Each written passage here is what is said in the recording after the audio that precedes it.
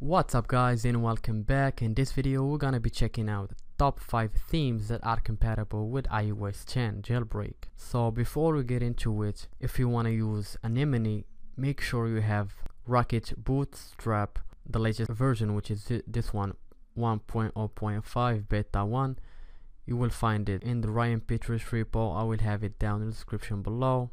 And if you choose to use Winterboard, make sure you install icon bundle this one right here install it with winterboard so i hope you guys enjoyed the video and i will catch you in the next time